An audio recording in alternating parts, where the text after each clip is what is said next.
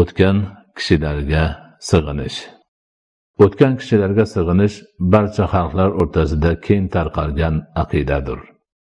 Odamlar o'tib ketganlarga o'zlaricha xudolik sifatlarini berishadi. Kimki bu e'tiqod mohiyatini chuqur o'ylab ko'rsa uning noto'g'ri va qoniqarsiz ekanligiga ishonch hosil qiladi. Bu ma'noni tuzukroq anglatish maqsadida tafsiri hiloldan iqtibos keltiramiz. Alloh taolo odam atoni jannatdan yerga tushirgach uning zurriyotiga baraka berdi. Ular tezda ko'payib ketdilar kasbu kor o'rgandilar. Ular odam atoga kelgan dinga e'tiqod qilib yagona ollohga ibodat qilishar edi. Odam avlodini xayrli ishlardan qaytarishga ont ichgan shayton bu holga toqat qila olmadi. Kishilarni shirkka chaqirishga butu sanamlarga ibodat qildirishga urina boshladi. Odam otaning dastlabki avlodlari ichida allohdan qo'rqadigan taqvodor solih kishilar bor edi.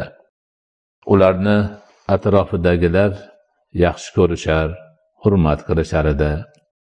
Vaqti soati yetib ular olamdan o'tganlaridan so'ng shayton qolgan kishilar orasida vasvasa qilib agar sizlar vafot etgan solih kishilarni haqiqatdan yaxshi ko'rsangizlar va eslab turishni xohlasangizlar suratlarini chizib qo'ying. Ertayu kech nazar solib turasizlar dedi. Odamlarga bu gap yoqib tushdi. Avval boshda suratga qarab ularni eslab turishdi. So'ngra suratlar o'rniga haykallar qilib ibodatxona va uylar qo'yishdi. Ular bu haykallarga hech kimga foyda ham zarar ham keltira olmasligini yaxshi bilishar edi. Lekin solih kishilarni hurmati uchun haykallarini izzat qilishar edi. Vaqt o'tishi bilan haykallarning soni ham izzat ikromi ham ortib boraverdi. Qaysi solih kishi vafot etsa unga haykal qo'yadigan bo'lishdi. Keyingi avlodlar o'z otalari uylaridagi haykallarini ulug'layotganini ularning huzurida duo qilishayotganlarini ko'rib voyaga yetdi.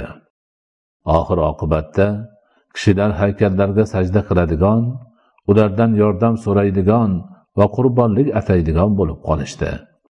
Shundoq qilib haykallar butu sanamlarga aylandi. Odamlar ularni xudo darajasiga ko'tarib ularga e'tiqod bilan ibodat qila boshladilar. Rivoyatlarda kelishicha qur'oni karimda nomlari zikr etilgan vad suva yag'uz yauq va nasrlar ahli solih taqvodor kishilar bo'lganlar. Odamlar ularni nihoyatda yaxshi ko'rganlar va hurmat qilganlar. Vaqti soati yetib ular vafot etganlaridan so'ng shayton vasvasasiga uchib kishilar ularning suratlarini chizganlar so'ngra haykallarini yasaganlar. Ularni ziyorat qilganlar. Asta sekin dardlarini ularga aytadigan bo'lishgan. Oqibatda vaqt o'tishi bilan ularni xudo deb e'tiqod qilganlar va ularga ibodat qilganlar. Iqtibos tugadi. O'tib ketganlar kim o'zi? O'ylab ko'raylikchi. Ular ham aslida oddiy odamlar bo'lgan yeb ichgan kasal bo'lib tuzalgan va nihoyat ajali yetib o'lgan. Badanlarini qurt yeb chirib ketgan. Xo'sh shundan yordam so'rash unga iltijo qilish aqlga to'g'ri keladimi? Albatta yo'q.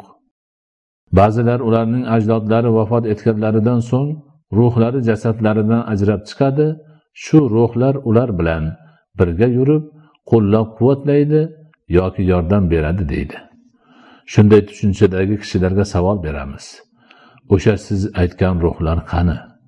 Ularning haqiqati nima o'zi? Va sizlarni qanday qilib himoya qiladi? Aslida ruh jismdan ajragandan so'ng kuchsiz bir narsaga aylanadi va hech narsaga ta'sir qilmaydi. Ruh faqat jism bilan birikgandagina quvvatga kirib ta'sirga ega bo'ladi. Tirik inson quvvatga to'lgan chog'larida ham ko'pgina narsalarni amalga oshira olmaydi. O'z atrofidagi narsalarga ta'sir qila olmaydi. Shunday ekan o'liklar qanday qilib ta'sir o'tkazsin? O'tgan ajdodlarga sig'inish ko'pgina xurofat va afsonalarning kelib chiqishiga sabab bo'lgan. Sabab bo'lgan.